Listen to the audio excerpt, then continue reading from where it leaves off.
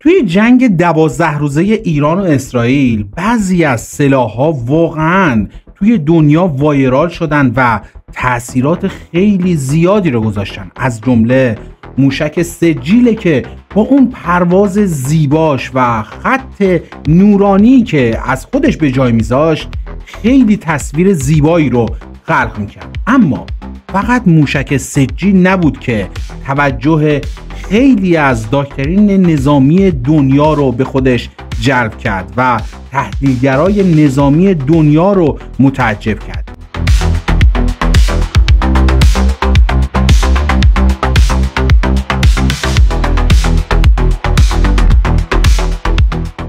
فتاح یک و دو. شاید تعداد کمی ازشون شلیک شد توی جنگ دوازده روزه اما تاثیرشون دقیقا موقع شلیک نبوده.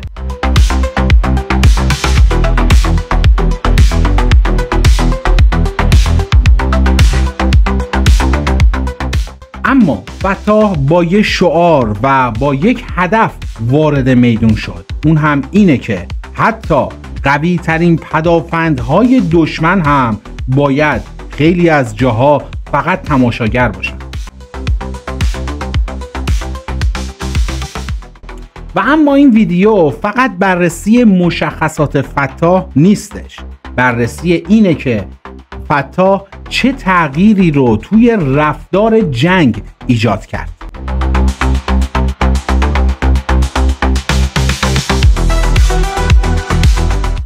درود بر شما. اینجا کانال نبردآورانه و من هم جلال هستم. امروز با یه موضوع خیلی جذاب و فوقالعاده پیش شما اومدم. موضوعی که به کرات توسط شما از ما درخواست شده و ما بالاخره انجام وظیفه کردیم و این ویدیو رو آماده کردیم تا در اختیار شما قرار بدیم. حتما تا پایان ویدیو همراه من بمونید چون مطمئنم که از محتوای اون لذت می‌برید. ولی اگر تا به امروز کانال ما رو subscribe نکردید این کار رو انجام بدین دکمه زنگوله هم بزنید و از محتواهای آینده ما با خبر بشید. خدا وکیلی like هم فراموشتون نشه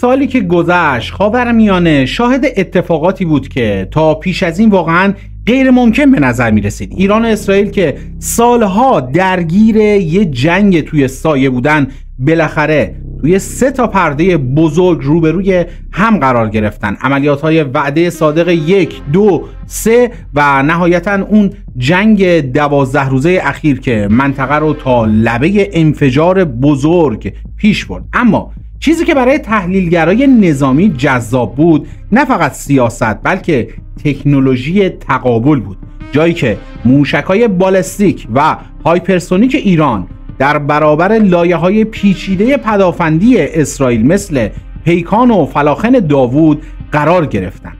توی این درگیری یه اسم بیشتر از همه شنیده شد فتاح فارغ از اینکه طرفدار کدوم جبهه باشیم؟ نمیشه از بررسی فنی این سلاح گذشت. توی جنگ دوازده روزه گزارش های متناقضی منتشر شد که رسانه های اسرائیلی از موفقیت خیره کننده پدافند کشورشون گفتند. در مقابل تصاویر ماهواره‌ای و ویدیوهای موبایلی نشون می‌داد که عبور موشکایی با سرعت سرسام‌آور به اهداف خودشون برخورد می‌کردن. نکته بیطرفانه اینجاست که فتا طراحی شده تا قوانین بازی رو عوض بکنه. یعنی استفاده از سرعت بالای 13 ماه برای اینکه فرصت تصمیم گیری رو از سیستم های کامپیوتری رقیب بگیره. حالا که بعد از اون دوازده روز ملتهب یه آتش بس شکننده برقرار شده.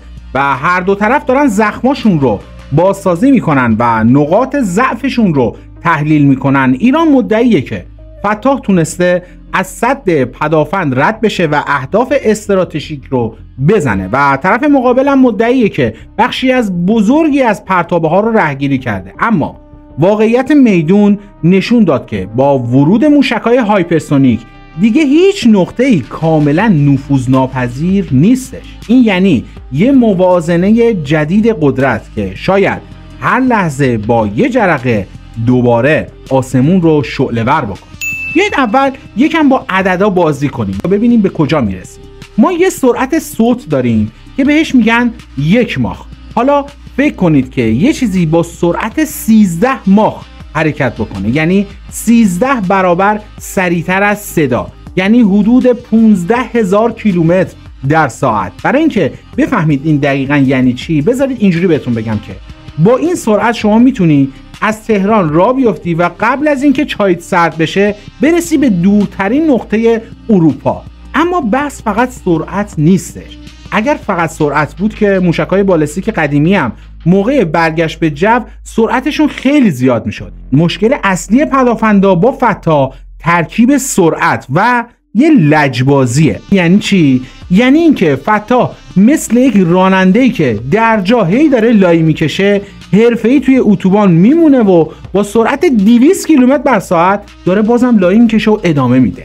ولی پدافندای دشمن مثل یک پلیس ایستا هستن که فقط بلدن مستقیم شلیک بکنن. فتا وقتی که وارد جو میشه تازه بازیش شروع میشه.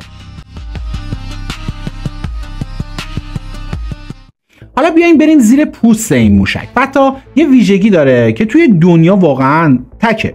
وقتی که کلاهک از بدنه موشک جدا میشه خودش یه موتور داره. اون هم نه موتور معمولی یه موتور کروی با نازل متحرک. این یعنی چی حالا؟ ببینید موشک های قدیمی مثل تیرکمون بودن. وقتی که پرتاب می شدن دیگه مسیرشون دست خودشون نبود. جاذبه و فیزیک اونا رو می‌کشید پایین. اما فتا توی سر جنگیش یه خروجی موتور داره که می‌تونه به چپ به راست به بالا و به پایین بچرخه. یعنی وقتی که پدافند دشمن مثل سامانه پاتریوت میاد مسیر فتاح رو محاسبه می‌کنه و موشک رهگیرش رو میفرسته که بهش بخوره فتاح یهو یه تکون می‌خوره و مسیرش رو عوض می‌کنه. این موشک گرون قیمت دشمنم با یه گیجی از کنار فتا رد میشه و میره دنبال بازی خودش. این موتور یعنی مانوپذیری در سرعت سرسام‌آور. این همون چیزیه که مهندس های ایرانی سالها روش کار کردن تا تونستن بسازنش. ساختن موتوری که بتونه توی اون فشار و سرعت جهتش رو عوض بکنه و از هم نپاشه. واقعا اینجا مهندسی معجزه خلق کرده. و اما برسیم به اون لحظه درجه حرارت بسیار زیاد. یه لحظه دستتون محکم بکش رو این یه امتحانه. دستتون محکم روی فرش بکش گرم میشه. شاید هم اگر زیاد این کارو بکنی دستت بسوزه. حالا فکر اینو بکنید که با سرعت 15 هزار کیلومتر بر ساعت این موشک داره توی هوا حرکت می‌کنه. استحکاک هوا با بدنه این موشک اینقدر زیاد میشه که دمای نوک موشک به بالای 2000 تا 3000 درجه سانتیگراد می‌رسه. یعنی زوب خالص. توی این دما فولاد مثل کره وا میره. پس فتا از چی ساخته شده که این اتفاق نمیافته؟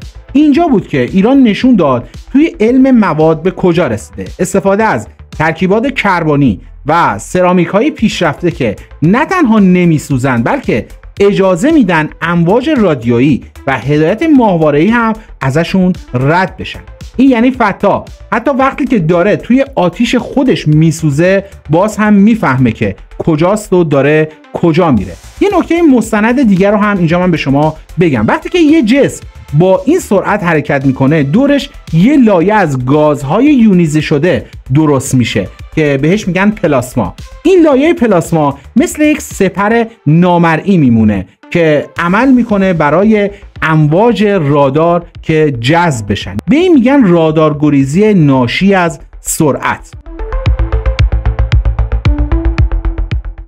و اما هنوز که دنیا داشت فتاح یک رو هضم می‌کرد ایران فتاح دو رو رو کرد. فتاح دو دیگه فقط موشک نیست یه HGV یعنی اینکه وسیله پروازی لغزنده هایپرسونیک. فرقش با قبلی چیه؟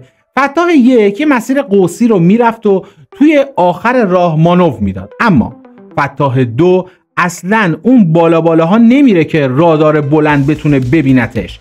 فتاح دو میاد توی ارتفاع پایینتر مثلا سی تا چهل کیلومتری و مثل یک سنگ تخت از روی آب میپره. دیدین سنگ اینجوری پرت می‌کنین؟ همینجوری پرتاب میشه میره جلو.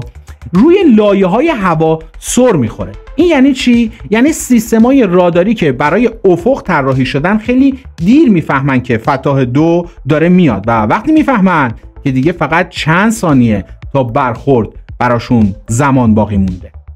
فتاح دو در واقع یه هواپیمای بدون سرنشین فوق سریه که هیچ خلبانی نمی‌تونه باهاش رقابت بکنه. اما چرا اسرائیل و آمریکا این وسط نگران شدن و خب بالاخره تاثیراتش رو هم دیدن؟ بیاین رو راست باشین.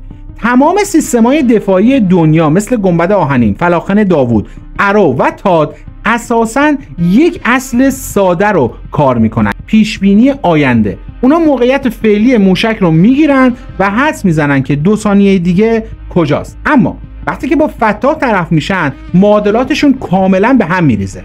فتاح غیر قابل پیش بینیه مثل این میمونه که بخوای یه مگس رو با یه تفنگ بادی بزنی. اونم مگسی که با سرعت جت داره حرکت می‌کنه.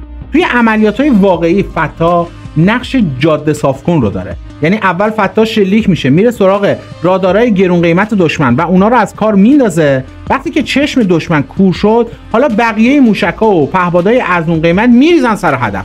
برای همینه که بهش میگن سلاح استراتژیک چون کل سیستم دفاعی طرف مقابل رو بیمعنی می‌کنه. خیلی هم می‌پرسن کشوری که برای واردات قطعات ساده مشکل داره چطوری به تکنولوژی hypersonic رسیده؟ جوابش توی یک کلمه میانبر. دانشمندای ایرانی فهمیدن که اگر بخوان توی جنگنده های پیشرفته با غرب رقابت بکنن دهه ها عقب میمونن. پس اومدن روی قدرت موشکی تمرکز کردن. البته این از دید خیلی ها اشتباهه که فقط بخواید کل سرمایه گذاری رو روی سیستم موشکی انجام بدی. ولی خب بد هم نیستش. دلایل منطقی هم داره. فتاح نتیجه مستقیم سالها تست و خطا توی کویرای ایرانه. از موتورای سوخت جامد خیبرشکن گرفته تا سیستمای هدایت دسپول همه اینا پله شدن تا فتا متولد بشه. این موشک کاملا بومیه. یعنی صفر تا صدش از فرمول سوختش گرفته تا الگوریتم های کامپیوتریش توی ایران طراحی شده. این یعنی دیگه با تحریم نمیشه جلوش رو گرفت و این موشک عملا یک خلق بومیه. حالا بیایم تصور بکنیم اون لحظه ای که موشک فتا شلیک شده. از لحظه ای که دکمه شلیک زده میشه موتور قدرتمند سوخت جامد فتا اون رو با یک شتاب وحشتناک به آسمون می‌بره. توی کمتر از دو دقیقه موشک از لایه های قلیز جو رد میشه. اونجا کلاهک جدا میشه. حالا فتا 25 کیلومتر بالاتر از سطح زمین داره با سرعت 5 کیلومتر بر ثانیه پرواز می‌کنه. رادارای دشمن توی قبرس یا کشورهای همسایه سیگنال رو می‌گیرن. آژیرا به صدا در میاد. اپراتورهای پدافند با یه استرسی سعی می‌کنن روی هدف قفل بکنن. اما فتا شروع می‌کنه به رقصیدن. یه چرخش به چپ یه شیرجه به راست. سیستم تاد شلیک میشه تا فتاح رو بزنه. ولی فتاح با یه مانور ناگهانی موشک ده میلیون دلاری دشمن رو جا می‌ذاره. کل این پروسه از ایران تا دورترین هدف توی منطقه کلا هفت دقیقه طول می‌کشه. هفت دقیقه. یعنی تا طرف بیاد بفهمه که چی شده و بخواد بره توی پناهگاه فتاح کار رو تموم کرده. و اما فتا فقط یه ابزار جنگی نیست یه زبون جدیده برای حرف زدن توی سطح جهانی. وقتی که ایران فتاح رو نشون داد در واقع داشت میگفتش که دیگه تهدید نظامی علیه ما سازگار نیست. چون هر کسی که بخواد به ایران حمله بکنه می‌دونه که هیچ راهی برای دفاع در برابر فتا وجود نداره. شاید این شعارگونه به نظر برسه. اما حتی اگر ما بخوایم واقعیت ها رو بررسی بکنیم و فیلم ها و ویدیوهایی که از لحظات برخورد وجود داره رو مرور بکنیم می‌بینیم که یه موج موشکی داره به سمت هدف خودش میره و این وسط یه موشک عین سائقه برخورد می‌کنه و هدفش رو منهدم می‌کنه.